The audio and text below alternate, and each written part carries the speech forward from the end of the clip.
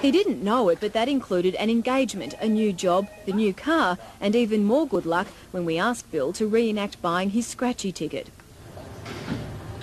I just won 250,000. I'm not joking. You're not, are you? Bill, I just won 250,000.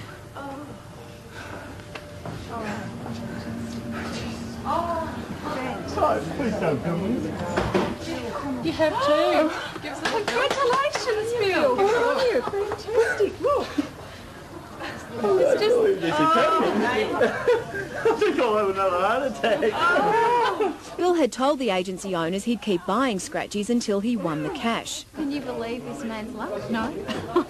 I'm in shock. I'm still shaking. For a man who last year lived in a caravan, the sudden windfall inspired dreams he wanted to share with his fiancée. I won 250,000, honey. I have. I have. We got that new house.